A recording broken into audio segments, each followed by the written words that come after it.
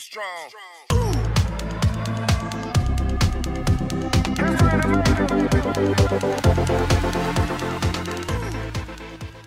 What's up guys, welcome back to a brand new video. If you're new here, my name is Jose and today I have a very, very exciting video.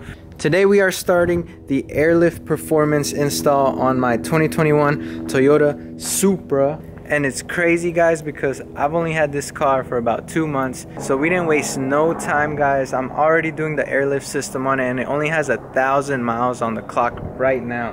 Before we start guys make sure to hit that thumbs up button and subscribe for more videos. I'll give you guys a quick walk around before we do anything.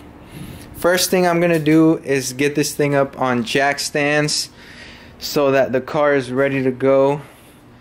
Look at that wheel gap nasty nasty wheel gap has to go. Once you go bags you never go back guys. I'm telling you that right now. So hopefully this thing will look super good aired out. I'm super excited right now. It's crazy that this suspension only has a thousand miles on it. Obviously I'm gonna keep all the stock components safe inside of a box so that if I ever want to sell the car or anything like that I could always put my stock suspension back on if needed. So always guys, I recommend to save your stock suspension just in case. I actually already finished my trunk setup guys, which I'm gonna show you guys right now. Um, I didn't really want to film any of it just because I feel like that's what takes the longest when you do a sus air suspension install is your trunk setup. So I'll show you guys right now. I basically started um, with a piece of wood. I measured it so that it fit my trunk perfectly. And then I have a two and a half gallon tank, which is polished. And I have uh, dual compressors. It's always good to have dual compressors. I actually went with a smaller tank this time just to save some more room inside of the trunk. So my goal this time was actually to save as much trunk space as possible just because the Supra doesn't have that much trunk space as is. So I didn't want to be left with zero trunk space. So this is why I went with a two gallon tank so that I could fit the compressors right beside it instead of in front of it. So I have the two compressors already mounted. Everything's already mounted as you can see. Um, they're mounted onto the tank. I have my water trap here. This is a manual water trap. So yeah guys, this is basically my trunk setup all finished here. I went ahead and did that just to save some more time on this video. Please let me know what you guys think in the comments of this trunk setup. It's very simple, very clean in my opinion. I didn't want to do anything too crazy. So yeah, it actually fits perfect inside the trunk. You guys will see in a little bit. So yeah guys without further ado let's get this car on jack stands. Okay so i know someone's gonna ask me in the comment about these mounts on my jack stands. I think i got these from ebay. I'll leave the link down in the description box below.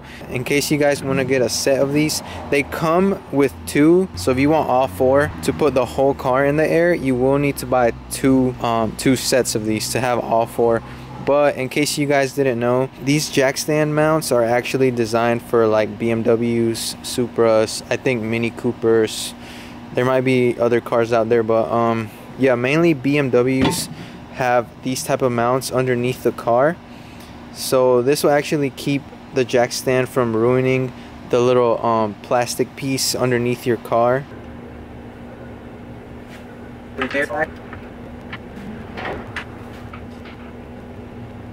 Okay guys, so my jack actually wasn't able to go underneath my car because it was too low, which is crazy to me because because this is supposed to be like a low profile jack and it's definitely not low profile if it won't go under a stock height Supra. So I had to put some wood underneath the two front tires. So now let's see if the jack will fit underneath the front of the car.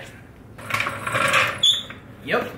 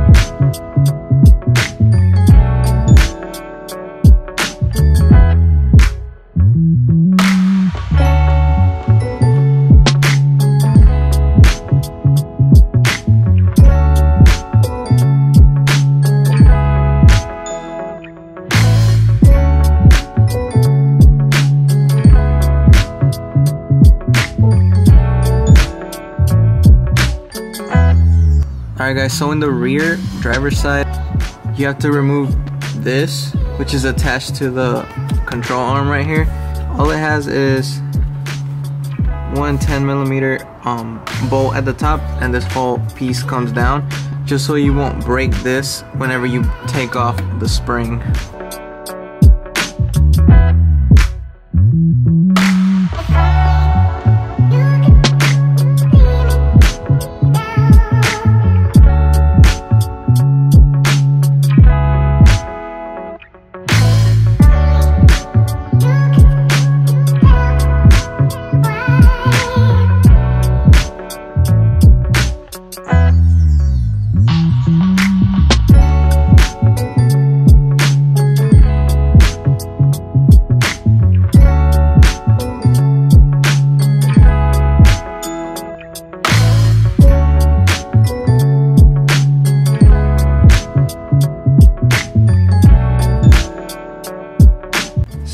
There was actually a plastic grommet here that you have to kind of break off and then I installed one of these rubber grommets that I bought and I poked a hole in it so that we can run the airline from here to the back of the air spring that's gonna sit in here. Okay, so this is where I mounted the manifold where all the lines go to.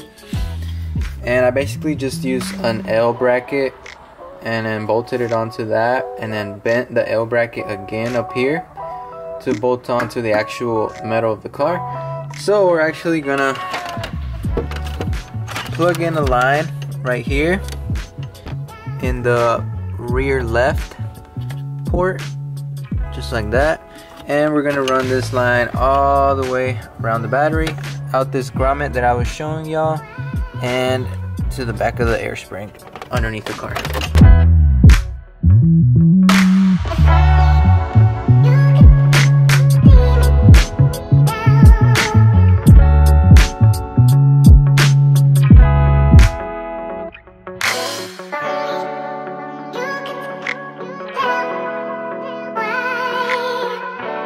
So I went ahead and took the nut off of the sway bar. That's gonna come off later.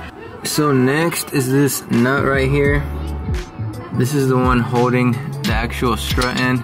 You're gonna use the same 16 millimeter socket as the sway bar nut. Alright guys, so once you have all those nuts off, you're gonna wanna put a pry bar. I used this side of the hammer.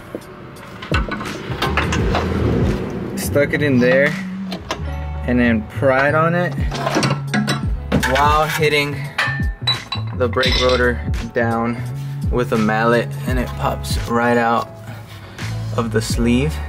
And now you can just unbolt the four um, screws at the top and it'll come right out